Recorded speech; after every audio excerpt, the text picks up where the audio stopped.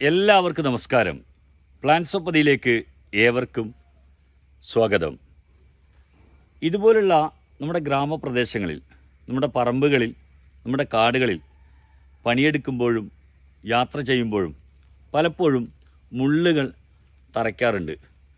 അത്തരം സന്ദർഭങ്ങളിൽ ആ മുള്ളുകളെ എടുത്തു കളയാനുള്ള വളരെ ലളിതമായ ഒരു പ്രയോഗത്തെക്കുറിച്ചാണ് പറയുന്നത്. ഇത് മുയൽ ചെവിയൻ ദശപുഷ്പങ്ങളിലെ പ്രധാനപ്പെട്ട ഔഷധ സസ്യങ്ങളിൽ ഒന്നാണ് മുയൽ ചെവിയൻ എല്ലാ സ്ഥലങ്ങളിലും ധാരാളമായിട്ട് കണ്ടുവരുന്ന ഒരു ദിവ്യ ഔഷധിയാണ് മുയൽ ചെവിയൻ ഇതുപോലുള്ള ഇളം നീല നിറത്തിലുള്ള ചെറിയ പൂക്കളുണ്ടാവും.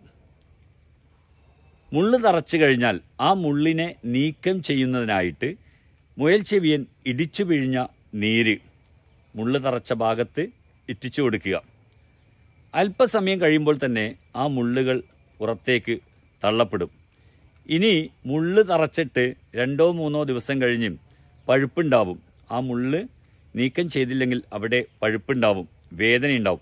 അത്തരം അവസ്ഥകളിലും ഇതേ പ്രയോഗം ചെയ്തു കഴിഞ്ഞാൽ ആ മുള്ള് പുറത്തു പോവുകയും പഴുപ്പും നീരും മാറി വേദന പൂർണമായി മാറുന്ന അവസ്ഥയിലേക്ക് നമ്മൾ എത്തപ്പെടും.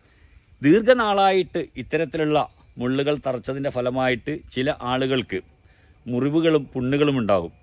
അത്തരം മുറിവുകളെയും പുണ്ണുകളെയും മാറ്റാനും മുയൽ ചെവിയന്റെ നീര് ഇറ്റിച്ചു കൊടുത്താൽ മതിയാവും. കുറച്ച് ദിവസം തുടർച്ചയായിട്ട് ചെയ്യുക.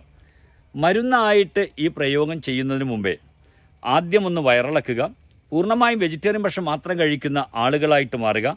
നാടൻ സാധനങ്ങൾ ഉപയോഗിച്ചുകൊണ്ട് മാത്രം പല്ല് തേക്കുക. ഒന്നിനെയും അമിതമായി നശിപ്പിക്കാതിരിക്കുക. എല്ലാവർക്കും നന്ദി.